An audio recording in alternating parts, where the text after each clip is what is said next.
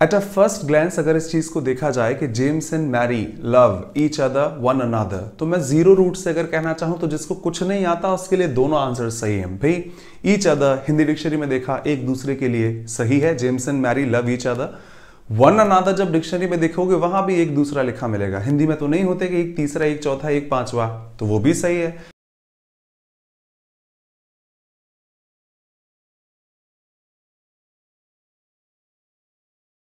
नमस्कार this is Kapildev Sharma and welcome to my YouTube channel English by Kapildev Sharma this is the seventeen video of pronouns और इससे पहले हमने personal pronoun demonstrative pronoun interrogative pronoun relative pronoun indefinite pronoun distributive pronoun और पिछले दो videos में reflexive और emphatic pronouns को डिस्कस किया। As I've said, this is the 17th video and the second last video before we finish pronouns. और आप सब में से कई लोगों के कमेंट्स कि सर जिस तरह आपने नाउन का टेस्ट पेपर सॉल्व कराया है वैसे सारे पार्ट्स ऑफ़ स्पीच के test paper solve कराइएगा। Is going to be ready has already been ready I would say और uh, इस वीडियो के बाद मैं उसे अपलोड भी ज़रूर करूँगा। और प्रोनाउन के सारे क्वेश्चंस जितने जिस एग्ज़ाम्स में आए हैं बहुत बहुत अलग वैरायटीज के साथ shall be available to you लेकिन हाँ उससे पहले जो कुछ रह गया है, उसे फिनिश कर लेते हैं। This is for reciprocal pronouns इसे हम लोग रेसिप्रोकल भी कहते होंगे इन टर्म्स ऑफ़ ऑक्सफोर्ड उसका correct pronunciation reciprocal sound में जाता है रिसीप्रोकल तो ठीक है, मैं उसे रेसिप्रोकल कहूँ। आपके लिए इजी होगा सुनने में। R E C I P R O C L और या फिर प्रिसाइजली उसे रिसीप्रोकल कहूँ। आप थोड़ा अंडरस्टैंड कीजिएगा। What do we think about reciprocal term in general तो जब भी हम रेसिप्रोकल मीनिंग दिखाते हैं, ये एक तरह से म्यूचुअल अंडरस्टैंडिंग म्यूचुअल अंडरस्टैंडिंग को दिखाता है म्यूचुअल रिलेशनशिप को रिप्रेजेंट कर पाता है। इस बात को कुछ एग्ज़ाम्पल से समझा जा सकता है। जैसे, हम लोग एक दूसरे की मदद करते हैं। अब एक दूसरे को कहने से कई लोग हो सकते हैं। कई बार हिंदी लैंग्वेज के अकॉर्डिंग जितनी थोड़ी बहुत बोलचाल की भाषा आती है। I do not know grammar of Hindi but हाँ जितना आप और हम जानते हैं in terms of general native speakers of Hindi हम लोग एक दूसरे के लिए तो इस्तेमाल करते हैं। क्या हम एक तीसरे के लिए इस्तेमाल करते हैं? आशा रखता हूँ नहीं। कि हम दो लोगों को एक दूसरे की मदद करनी चाहिए फाइन हम तीन लोगों को एक तीसरे की मदद करनी चाहिए और हम पचास लोगों को एक पचासों के साथ रहना चाहिए। हिंदी इस तरह अलाउ नहीं करती बट हाँ इंग्लिश में टर्म्स हैं जो डिफ्रेंशिएट करते हैं कि कब हम दो के बारे में बात कर रहे हैं और कब दो से ज़्यादा के बारे में। अब मुझे याद आया अभी अभी जब हमने इंडेफिनिट प्रोनाउन पढ़े थे और डिस्ट्रीब्यूटिव प्रोनाउन पढ़े थे, जिसमें कुछ टर्म्स थे any all both none neither either remember मैंने आपसे वहाँ भी कहा था कि लैंग्वेज में इंग्लिश लैंग्वेज में प्रिसाइजली दो के लिए अलग रूल्स चलते हैं और दो से ज़्यादा के लिए अलग। आपको याद होगा शायद उन दिनों भी मैंने यही एग्ज़ाम्पल दिया था कि जब बिटवीन का यूज़ करते हैं, जो अभी तक हमने पढ़ा नहीं है प्रपोजिशन हैं, बहुत आगे पढ़ेंगे बट बिटवीन का यूज़ दो के लिए करते हैं और अमंग का यूज़ दो से ज़्यादा के लिए किया जाता है। सेम पैटर्न बोध का यूज़ दो के लिए ऑल ज़्यादा के लिए आयदर दो के लिए एनी ज़्यादा के लिए नन दो के लिए हम सॉरी उल्टा बोल गया मैं नन ज़्यादा के लिए और नाइदर दो के लिए हमेशा इस्तेमाल करते हैं। ऐसे सारे वेरिएशन आप एक बार वापस देखें।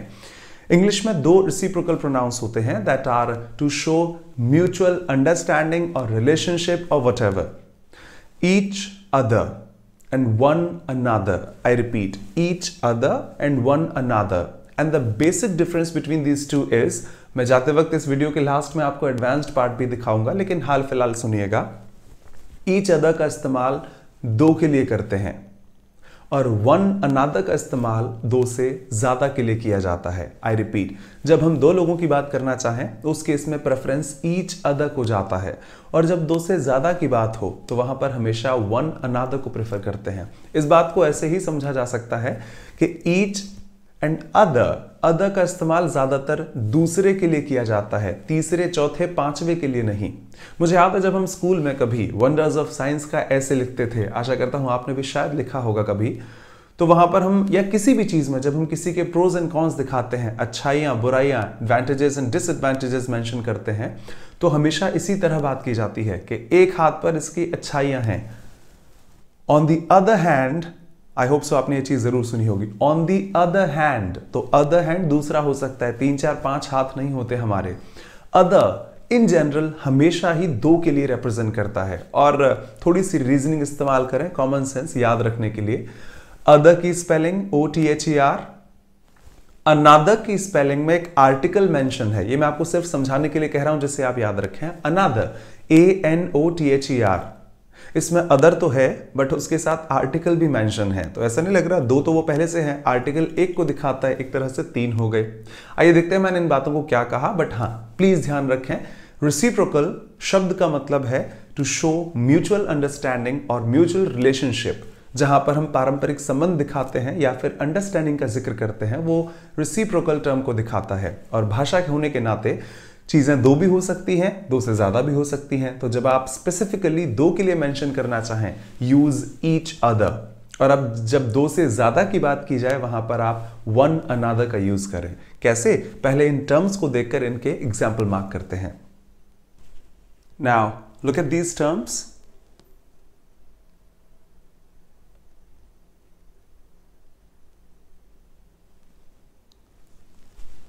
okay as I stated कि जब भी आप ईच अदर का यूज़ करें, ये हमेशा दो के लिए होना चाहिए।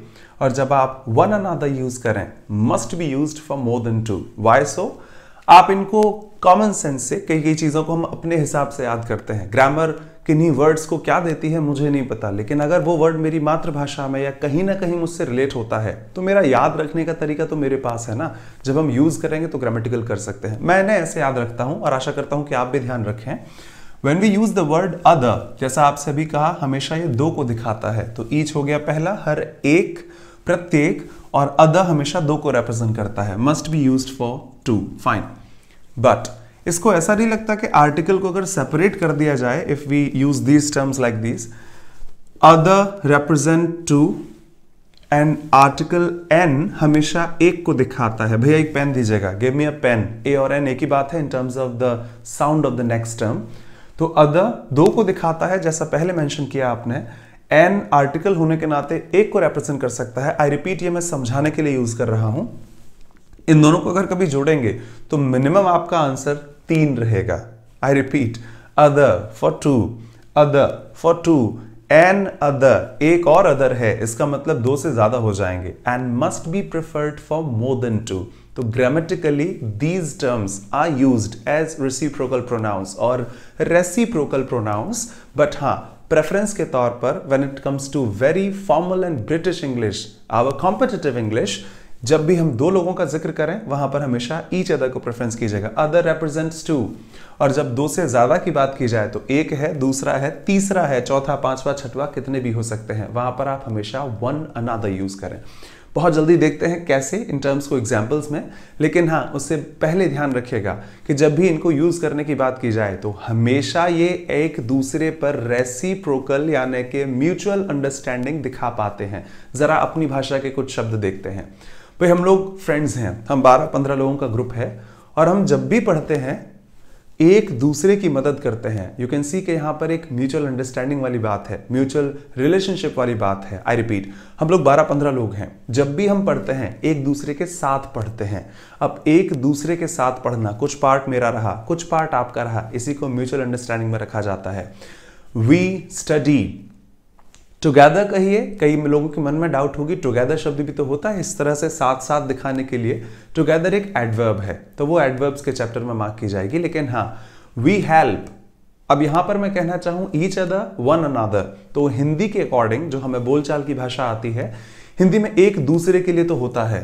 बट आशा रखता हूँ जितना मुझे आता है आई होप सो एक तीसरे के लिए तो नहीं होता। आई होप सो आपका भी यही आंसर होगा कि हिंदी में एक दूसरे के लिए लिखना पॉसिबल है या बोलना पॉसिबल है बट एक तीसरा, चौथा, पांचवा नहीं होता। इंग्लिश प्रिसाइजली दो शब्द रखती है तो इंग्लिश उनमें डिस्टिंक्शन क्रिएट ज़रूर करती है। तो we help I can't say each other because we हम बारह लोग हैं, हम एक दूसरे की मदद करते हैं तो यहाँ पर आप ईच अदर नहीं कह सकते। आपको यहाँ पर वन अनादर कहना होगा। I repeat we help one another सुनने में हर चीज़ अच्छी लगती है तो we help each other sound good but ना वी हेल्प वन अनादर लेकिन, हम दो लोग फ्रेंड्स हैं। बाकी सारे फ्रेंड्स हमारे बाहर रहते हैं। सिर्फ़ हम दो लोग यहाँ पर है। He and I are friends remember he and I are friends two three one one two three भूल तो नहीं गए। जब भी ऑर्डर ऑफ़ प्रोनाउंस मेंशन करना हो अच्छी चीज़ें दिखाने के लिए second person third person and first person और बुरी चीज़ें रिफ्लेक्ट करने के लिए first person second person and third person तो जब मैंने खुद से ही सही बोला है वैसे he and I second person है नहीं थर्ड पर्सन उसके बाद फ़र्स्ट पर्सन हम लोग दोस्त हैं। He and I are friends I am talking about just only two people अब जब दो के लिए कहोगे कि हम लोग दोस्त हैं, हम दोनों जब हम पढ़ते हैं तो साथ में पढ़ते हैं। वी हेल्प अब ये दो के लिए है। तो वी हेल्प ईच अदर कहा जा सकता है। आइए देखते हैं इनको डिटेल वर्जन पर। Now have a look at these examples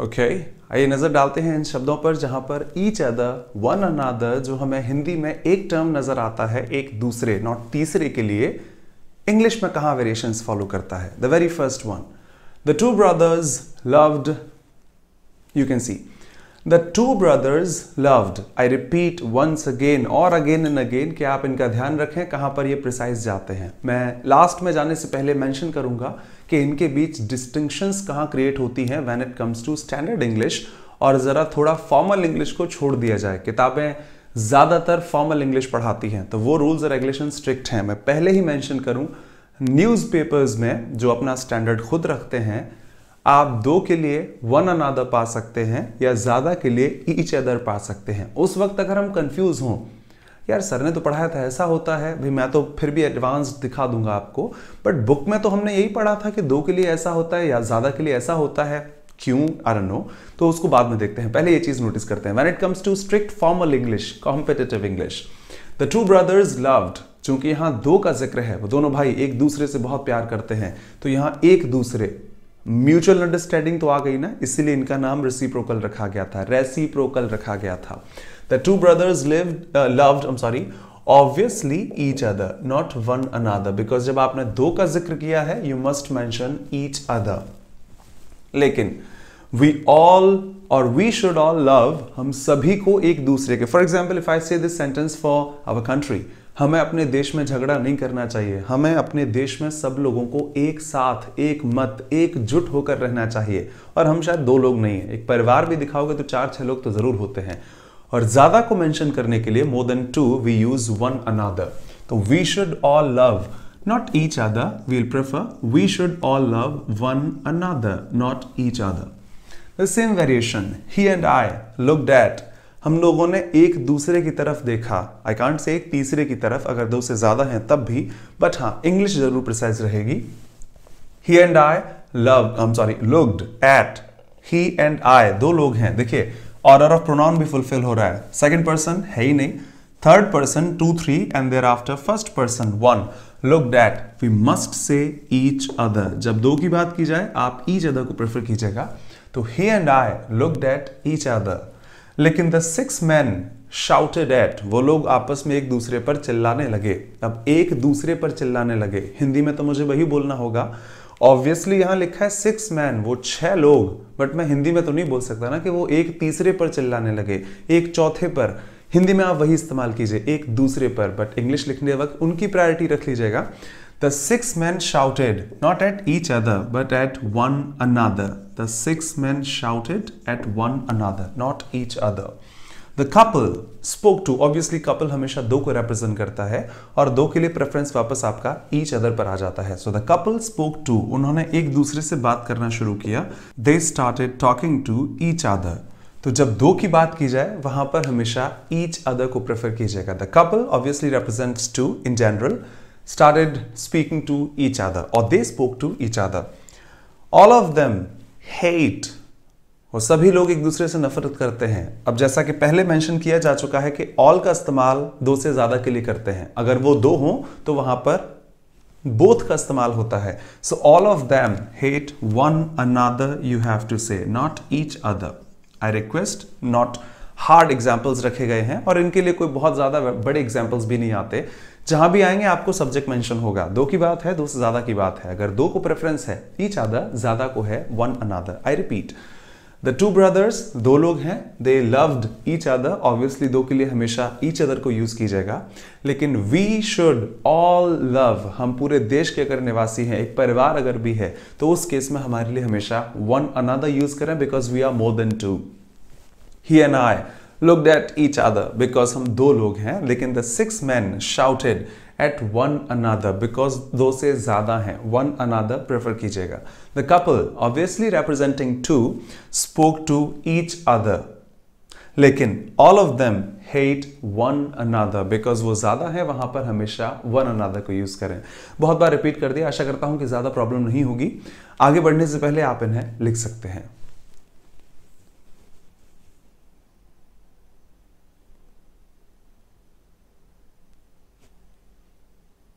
Okay, seems easy, but have a look at these examples.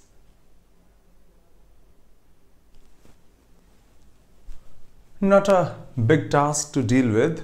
Sir, quite easy है ना James and Mary दो लोग हैं they love each other we must say but do you know the difference between these terms when it comes to deep roots of grammar जैसा कई लोगों ने मुझे comments में लिखा है कि आप जितना डीप में जा रहे हैं please continue the same my dear I will always do the same thankful for your precious words thanks lot at a first glance अगर इस चीज़ को देखा जाए कि James and Mary love each other one another तो मैं zero root से अगर कहना चाहूँ तो जिसको कुछ नहीं आता, उसके लिए दोनों आंसर सही हैं। भाई ईच अदर हिंदी डिक्शनरी में देखा, एक दूसरे के लिए सही है। James and Mary love each other one another जब डिक्शनरी में देखोगे, वहाँ भी एक दूसरा लिखा मिलेगा। हिंदी में तो नहीं होते कि एक तीसरा, एक चौथा, एक पांचवा तो वो भी सही है।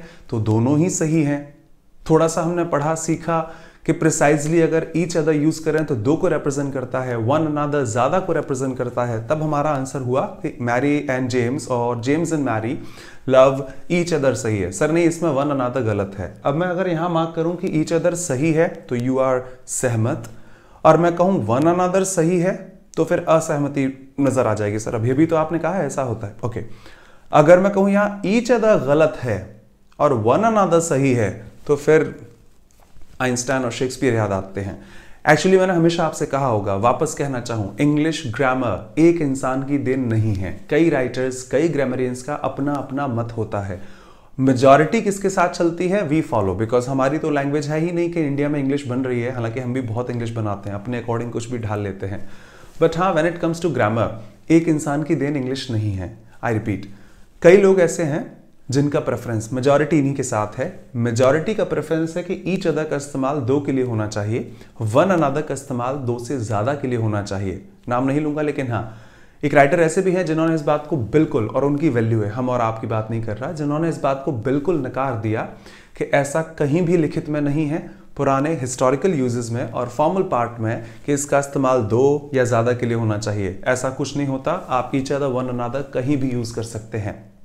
कुछ ऐसे भी राइटर्स हैं, दो से तीन जिनको मैंने पढ़ा जितना, कि वो लोग लिखते हैं कि नहीं each other must be used for more than two one another must be used for two बिल्कुल उल्टा और ऑपोजिट बट हाँ मेजॉरिटी ऑफ़ देम का वही मत है कि when we talk about two people of things we use each other and when we talk about two और more we prefer one another तो अगर कभी लाइफ में लिखा मिलता है बिकॉज़ ऑनेस्टली थोड़ा बहुत नॉलेज इतनी है मैगजीन्स में जब देखोगे तो वहाँ कॉम्पिटेटिव इंग्लिश के रूल्स नहीं चलते। वन हम, जब हम द हिंदू पढ़ते हैं या कोई स्टैंडर्ड न्यूज़पेपर अगर पढ़ते हैं तो वहाँ पर कई रूल्स हमारे क्रॉस हो जाते हैं। वहाँ आप देखिए ना बिटवीन का यूज़ दो से ज़्यादा के लिए, जबकि हमारी बुक्स और हमारे एग्ज़ाम्स आज भी वही चलाते हैं। तो वहीं आपसे रिक्वेस्ट है लाइफ लॉन्ग कभी भी आपको अगर ऐसा लिखा मिले कि the two people shouted at one another और वो मैगजीन का पार्ट हो तो वहाँ हम एरर डिटेक्शन नहीं निकाल सकते, गलत है, काट कर हम लिख देंगे, वो सही है। फिर उस वक्त अगर हमारे देवता जागते हैं कि यार ये क्यों गलत हो गया, ये कैसे सही हो गया? तो वहाँ ध्यान रखिएगा कि लैंग्वेज एक इंसान के मत से नहीं चलती। मे बी जिस राइटर ने वो चीज़ें लिखी हैं, वो प्रेफरेंस उनको देते हों, या वहाँ से बिलोंग करते हो, या उस बात को फॉलो करते हो। तो आई रिपीट यहाँ पर आंसर कौन सा है? तो चूँकि ये एडवांस्ड पार्ट में बोला है कॉम्पिटेटिव इंग्लिश के हिस्से में नहीं है आप यहाँ दोनों प्रेफरेंस रख सकते हैं। कोई आपको क्रॉस ना करे इस चीज़ के लिए। Both of them love each other both of them love one another both of these are correct but हाँ प्रेफरेंस की बात करें तो हम भी वहीं पर हैं बिकॉज़ हमारी नेटिव लैंग्वेज तो बिल्कुल नहीं है। तो हमारा प्रेफरेंस जाता है when we talk about two people of things we prefer each other तो प्रेफरेंस के तौर पर आई रिपीट प्रेफरेंस के तौर पर James and Mary love each other but हाँ लैंग्वेज में इसको भी प्रेफरेंस है कि आप दो के लिए वन अनादर लगा सकते हैं। एक नहीं कुछ राइटर्स ने ज़रूर मेंशन किया है कि दो के लिए वन अनादर इस्तेमाल किया जा सकता है। तो ये रहा था आपके फर्दर यूज़ के लिए। आप चाहें इस बात को ध्यान रखिएगा। So, finishing this part here of reciprocal pronouns or reciprocal pronouns, precisely आप उसे reciprocal कहें, that will be better.